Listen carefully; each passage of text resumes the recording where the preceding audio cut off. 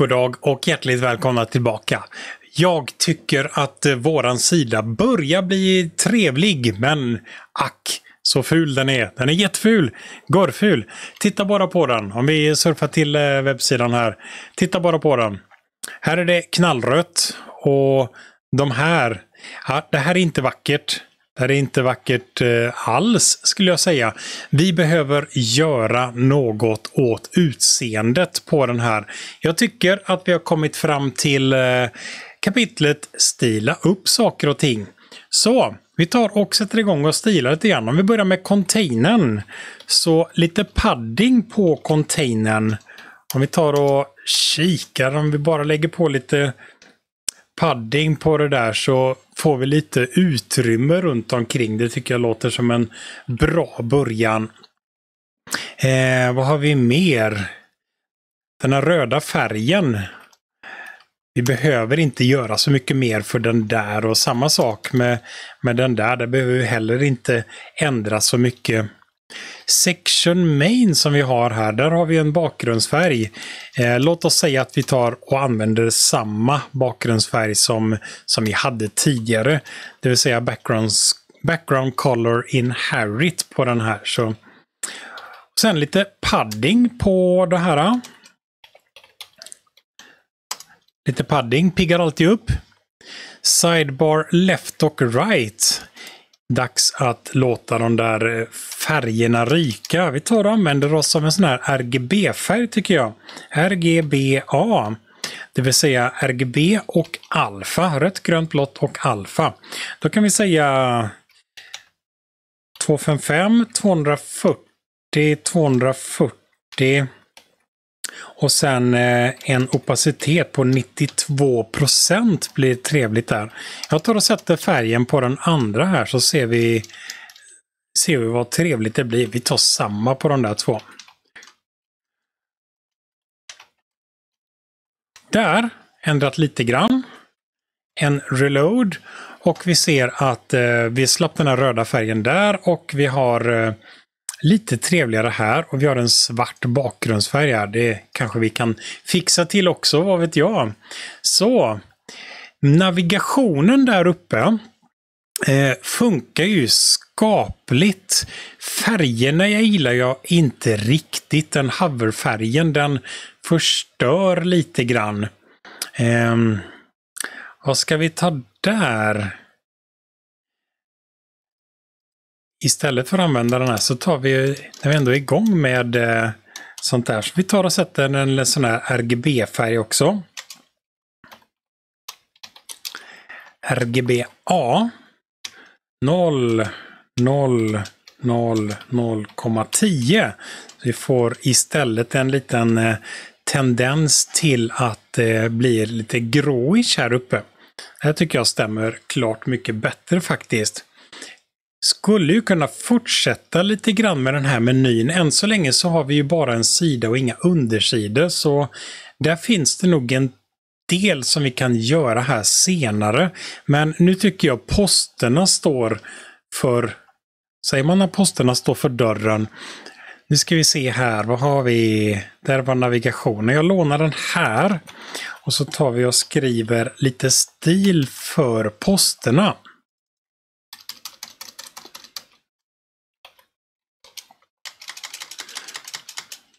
Så där.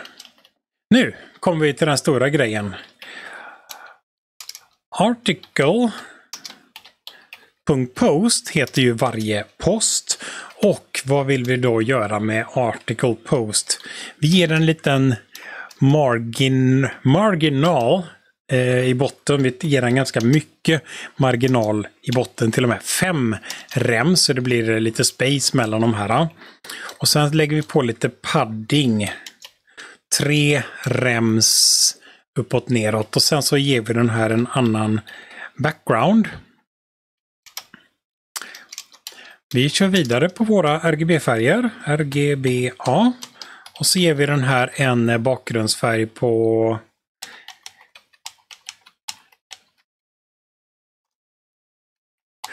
i princip vitt. Sådär, 255 ska inte skriva IP-adresser här. Det är inte IP-adresser som gäller idag i alla fall. Så där, där har vi lite början på posten i alla fall. Article Post, länken där uppe. Den här länkfärgen vill vi ändra på också. Vi säger color på den där. Eh, den länkfärgen får bli, vi tar ett RGB-värde igen. RGB, nej ingen alfa den här gången, vi tar bara RGB-värde. Och RGB-värdet som vi kör 146 8426. Lite brunish. Så har vi lite bruntema på den här. Nästa grej, Article Post. Och den grejen jag tittar på nu är hover-effekten, alltså när vi hovrar över en post. För som det ser ut just nu, om vi tar och sparar och reloadar det där, så har vi Har jag skrivit något kapitalgalet eller?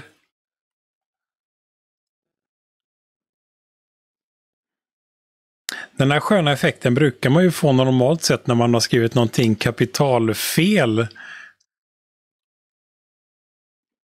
För posterna såg inte riktigt lika bra ut som jag hade tänkt mig. Ah, där har vi den. Det var RGB mellanslag hade jag skrivit. Så ska det inte vara. Hover-effekten på en post. Jag vill att något ska hända när man drar musen över en post här. Så den hover-effekten, den vill jag dessutom ha lite eh, sån här transition på.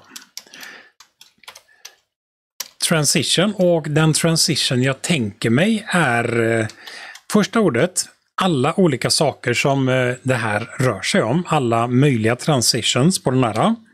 0,2 sekunder lång ska den här vara.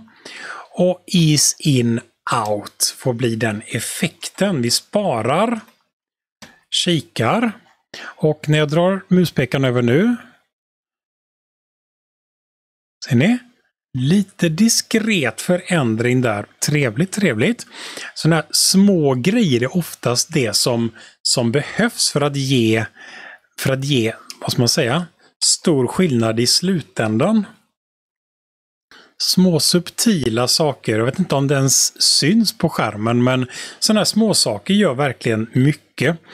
Nu tycker jag att vi tar och eh, fortsätter med den här eh, postens titel.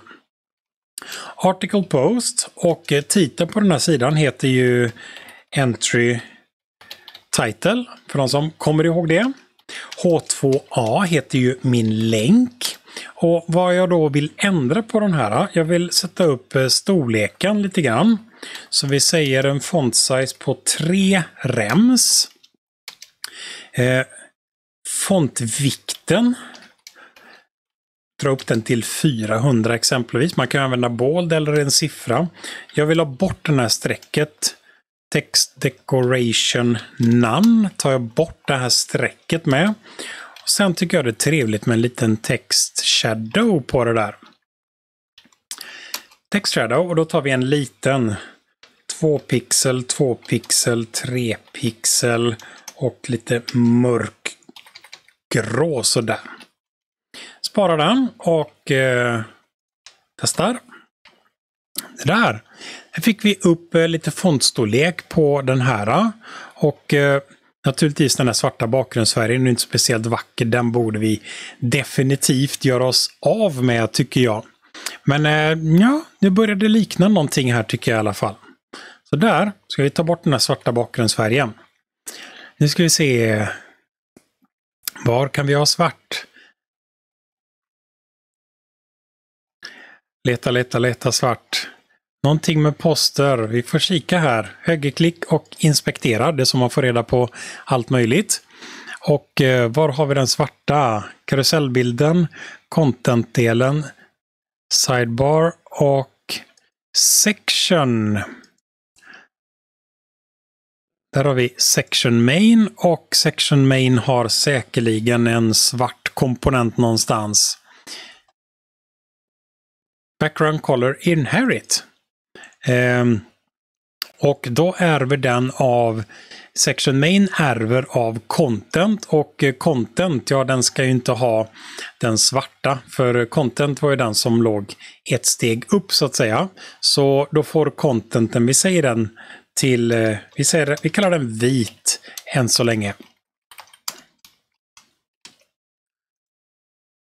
En reload senare. Och vi har blivit av med den där skarpa kanten som vi hade där. Så, där. Vad ska vi fortsätta med? Vi har gjort posterna någorlunda och ja, det börjar bli någorlunda. Hur ser det här ut när det går upp i större? Den här bilden, stack inte bilden ut ordentligt där? Jo, det gjorde den. Bilden sticker upp. Den där karusellbilden, den ska inte vara sån. Nu ska vi se här. Den går in i index POP. Divid är lika med karusell. Vi skulle ju faktiskt kunna kalla den där för en klass karusell istället. Och i stilmallen så har vi våran karusell här uppe någonstans. Carousel, har jag stavat fel någonstans? Karusell, jag kopierar det där och pastar in det där och så kallar vi karusellen för en klass istället. Spara och reloada och vi ser att nu landar headerbilden rätt här. Saker och ting pekar lite utanför men det är nog lite paddingproblem snarare som vi har där. Så där börjar ordna sig lite grann på den här fronten i alla fall. Den här paddingen är inte vacker tycker jag. Jag tar och helt sonika tar bort den här paddingen. Nu ska vi se, vi la paddingen på... Leta padding, måste vara på containern. Där har vi en padding. Ta bort den där paddingen. Så. Nu stack det upp lite grann bättre här tycker jag. Jag tror förresten att eh, paddingen har att göra med att boxsizingen box-sizingen är märklig. Så, vi lägger till en regel för det där. För allting ska det gälla att eh, box sizing border box. Den där borde någon lägga till i standarden. Tycker jag. Så, nu ska vi se om vi tar och lägger tillbaka våran lilla padding på containern här. Så, då landar alltingen innanför. Eftersom vi tog bort den här, eh, eller eftersom vi satte att eh, boxizingen ska vara borderbox så landade saker och ting bättre här. Jag gillar inte dock riktigt den här spacen som är här. Vi letar och eh, hittar den där. Och då har vi en entry title, vi har en post, article post, så article post verkar ha en padding på sig. Vi letar. Article post. Upp ner tre rems och noll ditåt. Jajamän, funkar fint. Då är det någon annan padding som ligger här. Mm. Jag hittar inte den just nu. Men i alla fall, där har vi eh, lite mer uppstilat i alla fall. Jag har en eh, logga här uppe, jag har en headerbild. Jag har eh, ändrat lite grann så jag har använt färger ifrån headerbilden i eh, mina inlägg här nere så det syns lite annorlunda. Så, så där, där tycker jag vi börjar komma lite grann närmare sanningen i alla fall. Det får, vi får nöja oss där än så länge. Tack för mig!